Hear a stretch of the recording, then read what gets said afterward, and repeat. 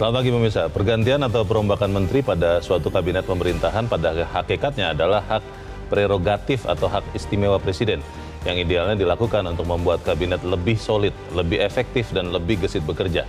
Dengan hak prerogatif itu, tidak ada seorang pun yang boleh mencampuri, membisiki, apalagi mendikte dan ikut cawe-cawe. Yang tidak boleh adalah kalau perombakan kabinet itu dikaitkan atau malah disusupi niat-niat lain yang tidak ada hubungannya dengan upaya untuk mengakselerasi, mempercepat roda pemerintahan. Pemirsa inilah editorial Media Indonesia di hari ini Selasa 18 Juli 2023 dengan tema Hak Prerogatif Jangan Sia-sia bersama saya Leonard Samosir. Dan Anda semua para pemirsa bisa juga ikut nanti menyatakan pendapat Anda dengan menelepon nomor telepon 021 583 9900. Dan pemirsa pagi ini telah hadir bersama saya Ketua Dewan Redaksi Media Group Elman Saragi. Bang Elman, selamat pagi. Pagi, Leo. Sehat-sehat Bang? Sehat. Abang kemarin tidak dilantik. Saya menunggu-nunggu itu. Bukan. Hah? Karena kita bukan orang dekat presiden. Oh, okay. karena kalau kalau melihat dasi abang sekarang ini sudah cocok ini, Bang. Bukan itu maksud saya. Oke, oke, oke. Eh, akan masuk ke editorial ini, Bang Elman dan pemirsa, ini soal pergantian uh, kabinet, uh, pergantian menteri di kabinet, dan itu memang disebut-sebut adalah hak istimewa atau hak prerogatif. Editorial mengatakan hak, hak prerogatif itu jangan sia-sia ini seperti apa nih Bang? Kalau kita bilang sia-sia atau tidak, itu kan harus ada ukuran yang jelas. Bagaimana Bang? Ya, memang judul ini sebetulnya sangat tajam ya. Hmm. Hak prerogatif saya kita harus mengatakan hmm. ketika presiden melakukan reshuffle, yeah. Itu kan hak prerogatif dia kan. Harus kita harus hormati. Betul. Kita harus hargai. Yeah. Seluruh masyarakat ini, hmm. termasuk partai politik, hmm. termasuk Nasdem juga hmm. harus menghargai, menghormati ini. Yeah. Dan sepanjang yang saya tahu, Nasdem juga mengatakan kita hargai, hmm. kita hormati keputusan, keputusan presiden, presiden yang meresapel kami. Yeah. Dan dihargai juga ketika yang menggantikan Johnny Plate itu bukan dari Nasdem kan gitu kan. Okay. Dan sepanjang saya tahu okay. pernyataan-pernyataan mereka juga seperti itu. Hmm. Tapi ketika kita kasih judul hak prerogatif jangan sia-sia, hmm. di sini persoalannya. Hmm. Hmm. Banyak sekali resapel, kocok ulang itu yeah. berlalu begitu saja, tidak ada evaluasi. Bahwa setelah reshuffle kinerja kabinet lebih membaik apa atau tidak? Atau lebih, ba hmm. lebih bagus, atau biasa aja, hmm. atau lebih buruk. Yeah. Jadi kita nggak tahu ini sebetulnya. Hmm. Padahal ukuran efektivitas daripada hak prerogatif itu kan yeah. setelah dievaluasi. Betul. Ini kan kita lihat nih. Kita hargai, kita hormati. Hmm. Tapi penghargaan dan penghormatan kita tidak hanya sekedar bahwa dia sudah berhasil yeah. meresapel. Tapi yeah. kita akan lihat nanti apakah kinerja para menteri wamen yang baru ini okay. lebih bagus atau bagaimana? Jangan-jangan lebih buruk Baik. atau jangan-jangan biasa-biasa saja. Yeah. Berarti kan kalau biasa-biasa apakah lebih lebih buruk? Yeah. Berarti kan gagal itu hak okay. melaksanakan hak prerogatif ini. Baik, kita akan bahas itu Bang Elman dan pemirsa inilah editorial Media Indonesia untuk hari ini Selasa 18 Juli 2023 hak prerogatif jangan sia-sia.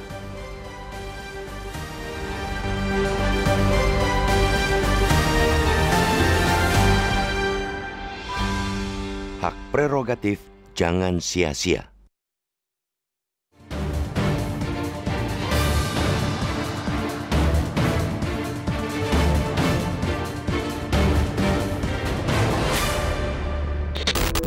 Pergantian atau perombakan menteri pada suatu kabinet pemerintahan sejatinya hal yang lumrah. Pada hakikatnya, langkah itu merupakan hak prerogatif presiden. Tentu idealnya dilakukan untuk membuat kabinet lebih solid, lebih efektif, dan lebih gesit bekerja. Dengan hak prerogatif tersebut, tidak ada seorang pun yang boleh mencampuri, membisiki, apalagi mendikte dan ikut cawe-cawe. Pendek kata, kekuasaan merombak mengganti, mengocok ulang atau reshuffle para menteri dan wakil menteri mutlak di tangan presiden. Siapa pun harus menghormati itu. Termasuk juga kita harus tetap menghormati reshuffle yang dilakukan Presiden Joko Widodo untuk kesekian kalinya kemarin. Presiden sudah pasti punya alasan kuat untuk kembali menggunakan hak prerogatif dalam mengangkat dan memberhentikan para pembantunya. Barangkali di sisa masa jabatannya yang tinggal setahun lebih sedikit, Joko Widodo ingin mempercepat laju roda pemerintahannya. Silakan saja kalau memang perombakan itu dirasa dapat membuat mutu pelayanan publik pemerintah saat ini menjadi lebih baik, lebih mumpuni. Yang tidak boleh ialah kalau perombakan kabinet itu dikaitkan atau malah disusupi niat-niat lain yang tak ada hubungannya dengan upaya mengakselerasi roda pemerintahan. Kita mafum, saat ini Indonesia tengah memasuki tahun-tahun politik. Suka tidak suka, perombakan kabinet di saat-saat sekarang pasti juga akan memunculkan dugaan miring dari publik. Karena itu, yang mesti dilakukan Jokowi ialah membuktikan bahwa perombakan kabinet Indonesia Maju yang kesekian kalinya itu murni karena alasan keefektifan kerja kabinet, bukan karena alasan-alasan lain. Apalagi kalau dikaitkan dengan urusan penggalangan dukungan pada pemilu 2024 mendatang. Tentu tidak mudah membuktikan hal itu. Sudah dibuktikan berkali-kali bahwa tak segampang itu mengungkit kinerja kabinet dengan langkah rombak-merombak apalagi jika perombakan itu dilakukan di penghujung masa jabatan presiden seperti sekarang. Reshuffle di ujung waktu berpotensi menggantang asap. Pertama, anggota kabinet harus mempelajari dulu peta masalah di kementerian sekaligus mengonsolidasikannya. Pada saat yang sama, atmosfer tahun politik kian memanas. Itu akan membuat suasana tak kondusif untuk mengeksekusi program kerja. Namun, lagi-lagi kita tak ingin pesimistis.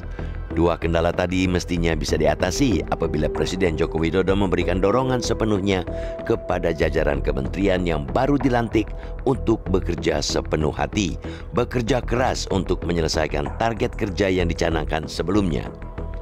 Presiden Jokowi jangan mengganggu kerja kabinet dengan terlalu banyak merecoki mereka di luar tupoksinya sebagai presiden, kepala negara, dan kepala pemerintahan. Presiden harus fokus menggerakkan kabinet baru ini demi menyelesaikan masa baktinya dengan husnul khotimah, akhir yang baik sampai 2024. Pak Presiden, fokus saja di situ. Jangan lagi seperti kemarin-kemarin, malah sibuk cawe-cawe memikirkan penerusnya. Biarlah itu menjadi urusan partai politik atau gabungan partai politik. Percuma saja kabinet dirombak-rombak kalau ternyata yang membuat lambat kerja pemerintah itu bukan para pembantunya itu, tapi justru pemimpinnya. Ah.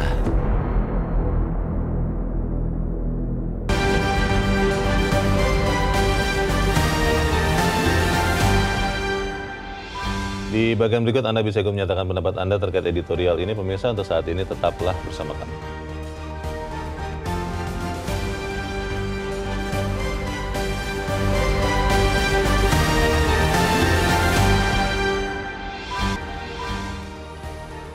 Terima kasih Anda masih bersama kami di Editorial Media Indonesia dan saat ini kita Bang Elman akan berbincang dulu. Saat ini kita sudah tersambung lewat saluran telepon dengan analis politik Khairul Umam.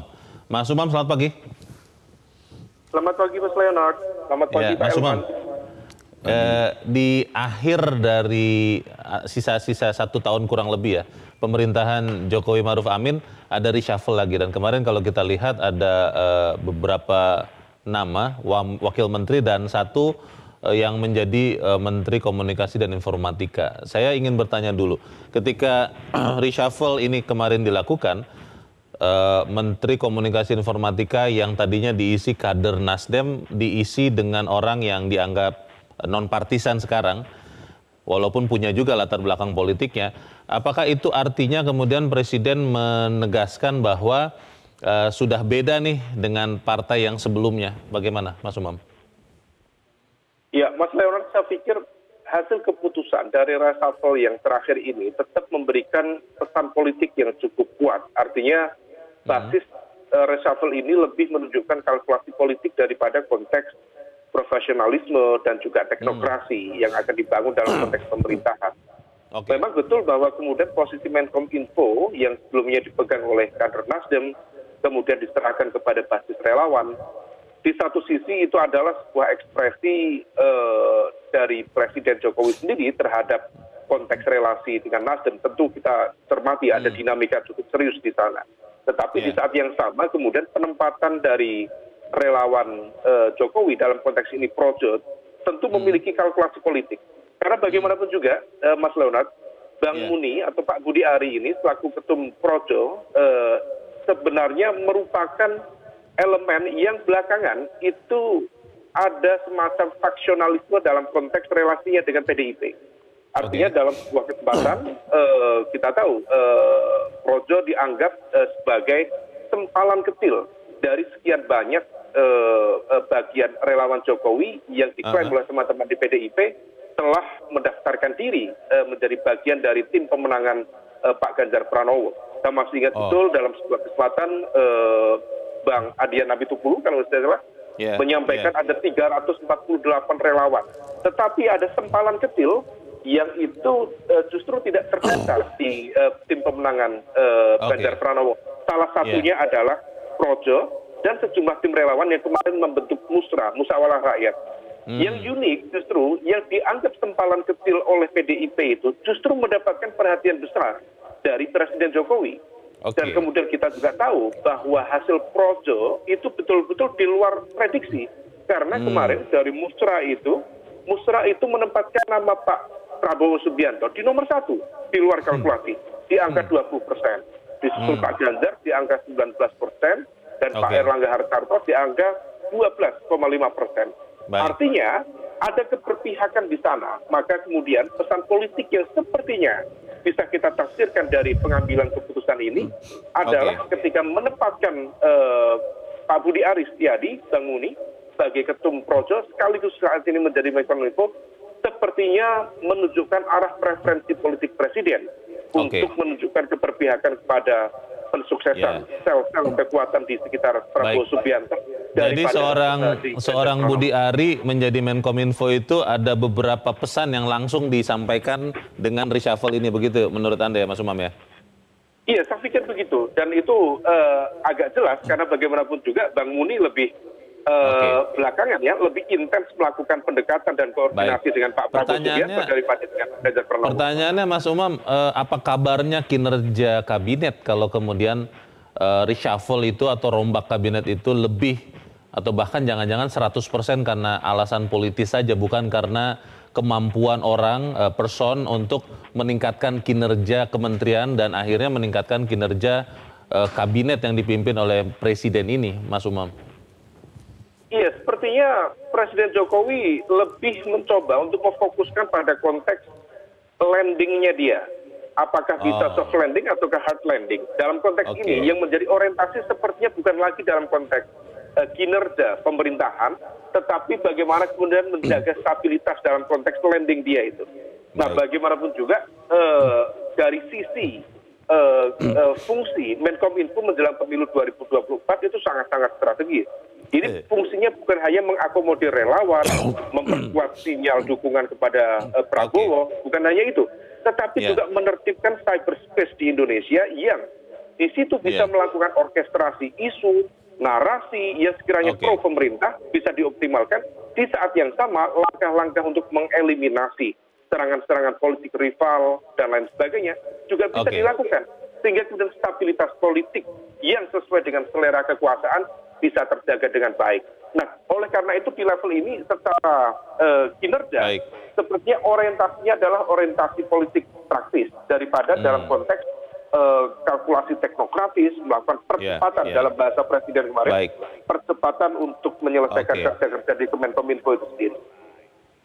Baik, kita tunggu nanti sama-sama seperti apa eh, hasil dari reshuffle yang terakhir ini. Semoga eh, alasan untuk meningkatkan kinerja juga masih tetap eh, diperhatikan dan kemudian juga berdampak. Untuk saat ini terima kasih analis politik Khairul Umam sudah mencerahkan kami. Selamat pagi Mas Umam. Kalau benar yang dilihat Mas Khairul Umam ini Bang Eman, artinya kemudian em, bagaimana kinerja kabinet menjadi nomor dua atau nomor sekian dong? Bagaimana Bang? ya sebetulnya kan itu kan berpulang kepada Pak Jokowi sendiri sebetulnya. Hmm.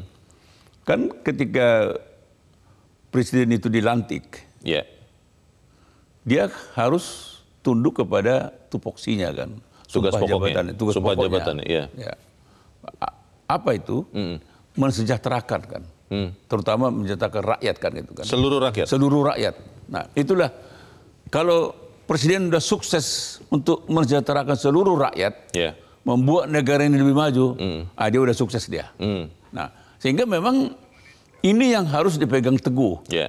Sehingga memang kalau ada kinerja menteri yang kurang berkenan, tidak bagus, tidak efektif, tidak solid, memang harus dirasapel kan gitu kan. Hmm. Itu sebenarnya dasarnya, bukan karena sedang tidak tidak senang. Iya. Maka itu ketika hari, kali ini dia meresapel eh, menteri dan Wakil wa- menteri. wa- wakil menteri, maka pikiran kita, pikiran kita yang tulus ini, ini berarti membangun negara ini un- untuk lebih bagus. Ya. Tetapi kalau seperti yang katakan Pak Holil Umam tadi, bahaya kan kalau memang ada niatan-niatan Politis. politis Hmm. apalagi kalau dikaitkan dengan keinginan untuk mengendorse Ya. pasangan Tertentu. capres tertentu. Hmm. Ini ini kan dan ini kan kelihatannya ada warna itu kan. Iya, gitu. benang merahnya tadi digambarkan. Ada benang merahnya itu. Hmm. Kalau itu terjadi, berarti kan presiden tidak jujur melaksanakan hak prerogatifnya. Hmm. Ini ini ini ini yang memang mau tidak mau Iya. rakyat dalam hatinya akan menggugat. Iya. Loh, di mana kita kan sudah menyerahkan, menghargai, menghormati hak prerogatif presiden. Iya. Tapi kalau Anda tidak ikhlas, tidak jujur melaksanakan hak-hak yang istimewa ini, Baik. lah bagaimana dong? Gitu Baik. kan? Nah ini ini ini inilah sebetulnya tuntutan kita pagi ini kepada Presiden Joko Widodo. Mantapkanlah resapel ini untuk Oke. kepentingan bangsa dan negara, bukan untuk cawe-cawe. Baik, kita akan jeda dahulu Bang Ilman dan pemirsa tetaplah bersama kami. Editorial Media Indonesia kembali selesai headline news pukul 7 waktu Indonesia Barat.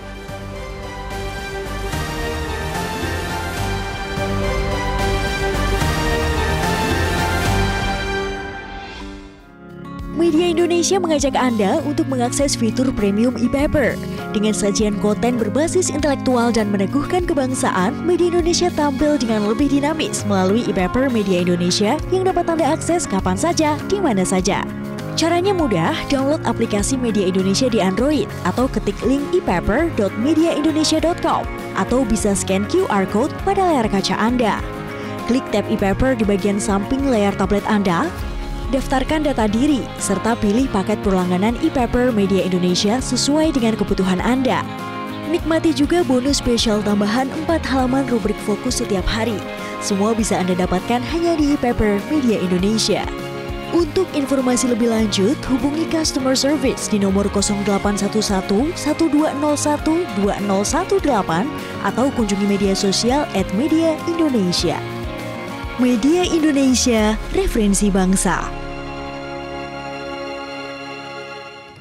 Terima kasih Anda masih bersama kami di Editorial Indonesia pemirsa dan saat ini eh, kita akan juga Bang Elman mendengarkan pendapat dari para pemirsa Metro TV. Saat ini kita sudah terhubung dengan pemirsa Metro TV di Tangerang, Banten. Ada Pak Taufik. Pak Taufik, selamat pagi. Ya, ya pagi. Selamat pagi.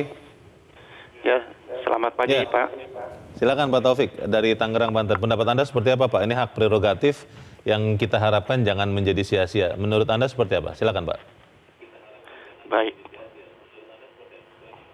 Baik, menurut saya emang benar sekali nih Pak Jokowi ya. Hmm. Itu jangan sampai sia-sia ini. Makanya ini memanfaatkan detik-detik terakhirnya itu. Makanya siapa yang dipilih itu kan tahu Iya. sendiri bukan dari Partai Gerindra. Jadi memanfaatkan detik-detik terakhirnya yaitu untuk memberikan imbalan. Memberikan imbalan untuk pendukung dia supaya nanti semakin Oh. gencar mencari pendukung-pendukung yang Oh, lain. melihat seperti itu ya, memberikan imbalan ya Pak Taufik ya? Iya, sebetulnya program-program itu kan udah ada. Ngapain perlu pakai wamen aja udah cukup. Seperti Pak Mahfud bilang. Hmm. Program-program udah ada. Nggak ada sesuatu yang khusus. Nggak ada yang apa. Dia tinggal ngelanjutin apa susahnya sih. Orang cuma Oke. bentar lagi. Oke. Kalau Anda lihat, berarti eh, reshuffle ini kalau menurut Anda akan bisa meningkatkan kinerja eh, kabinet, khususnya Kementerian Komunikasi Informatika, atau seperti apa, Pak Taufik? Ya harapan kita sih supaya harus bisa ya emang telekomunikasi di Hmm. seluruh Indonesia harus merata. Cuman ya ya ini udah publik semuanya udah menilai seperti itu.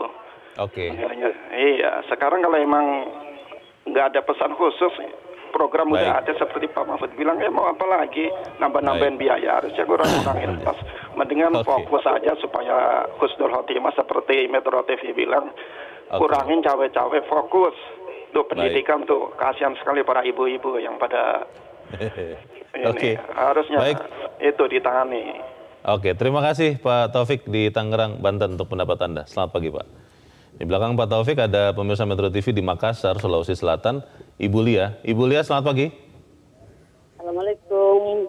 Waalaikumsalam Ibu Lia. Bagaimana Bu pendapat Ibu? Silakan Bu. Ya, eh, sesuai dengan ulasan editorial tadi ya, bahwa kita harus menghormati hak prerogatif presiden. Ah, selagi itu tujuannya adalah untuk eh, mensejahterakan bangsa Indonesia. Dan salah satu poin dari eh, usaha untuk perubahan untuk Indonesia maju. Ya. Sebelum atau menjelang Pilpres 2024. Uh, cuma di sini ya kita uh, para harapan masyarakat bahwa reshuffle itu uh, atau hak prerogatif itu jangan sampai uh, ada ya disusupi dengan uh, kepentingan politik. Mudah-mudahan tidak ada ya. Jadi Ya. uh, masyarakat itu tetap menghormati. Ya tapi itu tadi ya uh, kalau kita Ya. lihat penggantian daripada Menkominfo itu yang merupakan salah satu relawan ya jelas adakah muncul persepsi masyarakat yang berbeda-beda. Dan itu juga harus dihormati ya. Walaupun Yeah. masyarakat itu berbeda persepsinya tapi Yeah. tetap juga dihormati. Seperti masyarakat menghormati keputusan presiden. Jadi mudah-mudahan ke depan harapan kita dengan reshuffle ini eh, dengan tinggal sedikit waktu sebelum pilpres 2024 bisa lebih meningkatkan dan eh, tercapai apa yang dikatakan perubahan menuju Indonesia maju. Baik. Terima kasih. Assalamualaikum warahmatullahi wabarakatuh. Waalaikumsalam warahmatullahi wabarakatuh. Terima kasih Ibu Lia di Makassar, Sulawesi Selatan untuk pendapat Ibu. Selamat pagi. Di belakang Ibu Lia ada Pak Yohanis di Sumba, Nusa Tenggara Timur. Pak Yohanis, selamat pagi. Selamat pagi, eh, eh, Bang, Bang Leo. Selamat pagi Pak Yohanis. Bagaimana Pak pendapat Anda Pak? Ini terkait reshuffle, hak prerogatif, jangan sia-sia. Silakan Pak Yohanis. Iya, baik, eh, Bang Leo. em, Hmm. Kalau melihat dari judul kita hari ini ya, hak Hmm. prerogatif jangan sia-sia. Saya melihat Ya. bahwa ini hampir tidak ada tanda bacanya, artinya ini multitafsir. Kalau saya mau menafsirkannya begini, Bang Leo, hak prerogatif jangan sia-sia. Ya karena nggak ada tanda bacanya, karena ini sudah ya biasa aja sampai dengan di daerah pun hampir sama begitu, Pak Leo. Jadi artinya bahwa sekalipun bahwa hak prerogatif itu adalah hak yang tidak bisa diganggu gugat, tapi kan kemudian kalau ini menjadi sia-sia kebijakan ini kan juga kan sama saja begitu yang kita lihat begitu Bang Leo. Sehingga Oh. maksudnya bahwa ya mudah-mudahan ini seperti dalam ilmu persepak bolaan ya, seperti uh, hari-hari ini adalah injury time sehingga Hmm. hanya ada dua pilihan, menang atau yang kedua bertahan mati-matian untuk kemudian nanti seperti adu penalti begitu menang Oke. ya syukur nggak kalah ya Oke. begitu seperti Hmm, itu Pak Blay. hmm. sehingga menariknya juga Pak Mahfud tadi berkata bahwa eh, tidak ada PR bagi menteri baru oh tidak ada Oke. PR apa banyak PR kok gitu jadi itu Oke. eh, sedikit Baik. masukan begitu Bang Leo terima Ya. kasih Bang Leo Terima kasih eh, Pak Yohanis di Sumba, Nusa Tenggara Timur. Selamat pagi. Para pemirsa eh, melihat ya tidak ada yang istimewa dengan hal ini tadi juga di dalam headline dikatakan PLT Menkominfo mengatakan sudah tidak ada tugas khusus. Kalau dijalankan saja apa yang sudah diprogramkan di Kominfo ya sudah bisa. Bagaimana nih Bang Eman? Ya, memang pada dasarnya kan resapel itu harus di, dimaknai dengan ya memang tanda kutip ya tugas rutin aja kan. Hmm. Resapel itu. Ya. Seperti yang saya jelaskan di awal, Ya. kalau memang ada ketimpangan salah satu menteri atau dua menteri atau tiga menteri Hmm. yang tidak pas, yang membuat manajemen pemerintahan itu menjadi terseot-seot, Ya. memang harus ada Pergantian. pergantian kan itu. Jadi biasa aja. Nah, menjadi tidak biasa kalau pergantian ini memang fokusnya bukan untuk mensolidkan Kinerja. kinerjanya kan gitu kan. Ini Oke. ini ini yang menjadi soal kan. Harapan masyarakat dan itulah sebetulnya latar belakang dia ada di, di, di apa di, dimunculkannya hak prerogatif itu. Itu Yeah. itu, itu Yeah. dasar utamanya supaya presiden itu bebas Hmm. memilih siapa yang akan menjadi pembantunya. Iya. Tapi pengertian bebas sebetulnya bukan berarti dia memilih orang yang punya kedekatan dengan dia. Hmm. Orang yang se, se- apa sepaham dengan dia. Iya. Kalau itu yang terjadi, maka pasti para menteri yang dipilih tidak punya daya kritis. Hmm. Dan biasanya orang yang dipilih Iya. itu bukan karena kemampuan, Bukan kapasitas. bukan kapasitas, Oke. tapi karena menjadi kedekatan, Yes man. akrab, yes man, ABS. ABS dan Asal Bapak senang. hasilnya apa? Ya gagal. Hmm. Kalau gagal apa? Ya memang presidennya ya gagal. gitu. Karena kabinet ini, menteri ini kan pembantunya presiden. Apalagi sekarang coba ya kalau kita hitung ya, Hmm. Menterinya 35, Iya. UMN-nya 13. Oh. Kalau dijumlah 48. Oh. Berarti hampir se- ting- sudah separuh dari kabinet 100. Zaman 100 Orde Lama kan. menteri zaman Jadi- dulu ya? Oh, zaman dulu, zaman dulu Oke. kan kabinet 100. Iya. Udah gem- ini udah gemuk ini Leo. Ah, ah. Jadi kalau kalau sudah gemuk begini Hmm. juga ternyata Tidak efektif. tidak efektif, Hmm. berarti ada yang salah Hmm. dalam menggunakan hak Iya. prerogatif ini. Iya. Tadi kan saya katakan, Hmm. Tidak ada yang boleh katakan keberatan Hmm. atau cawe-cawe Iya. untuk merecoki resapel ini. Iya. Karena itu itu bukan haknya kita. Itu seorang presiden saja yang Seorang punya. presiden saja. Hmm. Maka partai politik mana pun yang di eh, yang eh, anggotanya diresapel Iya. tidak boleh marah. Iya. Dan itu yang ditunjukkan oleh Iya. Nasdem hari ini. Tapi tadi Bulia juga mengatakan kalau ada persepsi masyarakat bahwa yang dikedepankan ini hanya karena politik, ya juga jangan diapa-apakan. Itu kan terserah masyarakat untuk berpikir, katanya begitu, Bang. Itu yang saya katakan. Hmm. Kalau memang heavy-nya politik, Alasan politik. alasan politik, ya rakyat jangan salahkan kalau marah. Hmm. Berarti suatu saat hak prerogatif ini harus dibatasi. Ya, Kan begitu kan? harus ada syarat dan harus ada kondisi. syarat, ya kan? Iya. Dan presiden Hmm. kita pilih kalau dia mampu melaksanakan hak prerogatif. Iya. Tidak boleh untuk alasan politis Iya. kan gitu kan. Iya. Nah, ini ini yang kita khawatirkan. Apalagi kalau kita lihat ini kan projo kan. Hmm. Projo itu kan bukan partai politik. Betul. Ini relawan. kan ini relawan. Pendukung Jokowi. Sebetulnya kan relawan aneh juga kalau relawan juga minta jatah. Kan namanya su- sukarela kan gitu. Katanya katanya sekarang bukan relawan lagi bang, pamrihwan. Nah. Karena melakukan sesuatu katanya sukarela, tapi pada setelah menjabat, setelah menang harus ada sesuatu. Itu pamrih pamrihwan Lah, katanya. lah, lah, lah, ini yang menjadi pertanyaan kan. Ketika ini kan ini kan sebetulnya kan berita besar ini. Iya. Kali pertama loh. Iya. Apa relawan Hmm. jadi menteri kan? Kok bisa? Berarti dia sekarang udah satu level dengan menteri. Oke. Apa? Dengan partai, Partai politik. politik. biasanya kan itu kan Iya. biasanya. Iya. Walaupun tidak boleh juga kita apa dengan Iya. PD-nya mengatakan hak hak partai politik kan Iya. tidak. Tapi Biasanya- biasanya kan Iya. dari basisnya kan ada dari partai politik, ada yang dari apa? Iya, kalau tidak murni te- teknokrat itu kader parpol, Parpol, parpol. yang mendukung. Yang mendukung. Oke. Ini projo ya. Bang, tapi kalau kita mau berbaik sangka, kalau kita mau melihat kinerjanya setelah ada reshuffle ini, setelah kita tahu kan banyak orang meyakini ah ini hanya karena kepentingan politis bukan melihat kinerja.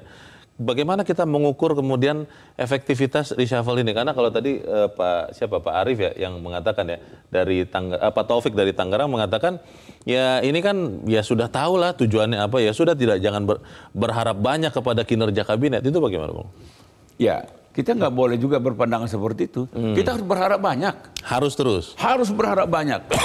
Kalau harapan harapan yang banyak itu tidak terwujud, Ya. itu yang kita katakan. Ya sia-sia resapel ini. Hmm. Ngapain presiden meresapel? Ya. Nggak usah diresapel aja atau dikosongkan aja. Hmm. Kan begitu kan? Karena toh tugas-tugas Toh- toh seperti yang kementeriannya dikatakan oleh Pak Mahfud, sudah berjalan. tidak ada pesan khusus. Ya. Ya udah yang ada aja dijalankan gitu kan. Hmm, Tapi kan tidak seperti itu, Leo. Harapan kita besar. Ya. Itu makanya kita katakan, "Hai Presiden, laksanakan tugas utamamu." Hmm. Maka itu pikirkanlah supaya Anda mengakhiri periodisasi ini dengan cemerlang, dengan gemilang. Baik. Tugas yang lain, katakanlah misalnya kalau untuk mencari siapa jadi presiden presiden yang akan datang, Yeah. serahkan pula lah, serahkanlah itu kepada partai politik. Itu kan bukan tugas presiden. Oke. Kalau partai politik tidak boleh cawe-cawe terhadap eh, Kabinet. kabinet untuk resap, apa, resapel ini, karena itu hak prerogatif, maka presiden juga tidak boleh cawe-cawe terhadap tugas utama daripada partai politik. Oke. Itu itu yang kita harapkan. Masalahnya Bang Elman di beberapa waktu yang lalu kan eh, seorang Joko Widodo mengatakan ya kita ini kan presiden, tapi kita ini juga politisi. Nah tapi itu, itu, kita itu, itu, itu, itu, itu yang salah. itu dia kita kan Dia tetap presiden, Iya. negarawan. Iya. Dia bukan politisi. baik saat ketika menjadi kepala negara maka kepentingan kelompoknya harus Dia bukan nomor dua. politisi, Baik. negarawan dan presiden. Kita jeda lagi Bang Elman dan pemirsa tetap bersama kami. Editorial Media Indonesia segera kembali.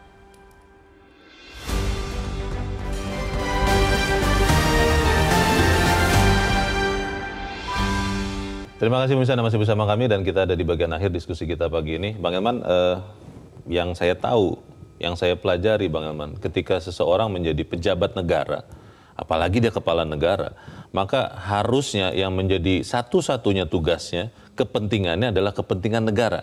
Kepentingan kelompok, partai politik, relawan atau siapa pun, itu harus menjadi nomor dua atau nomor sekian.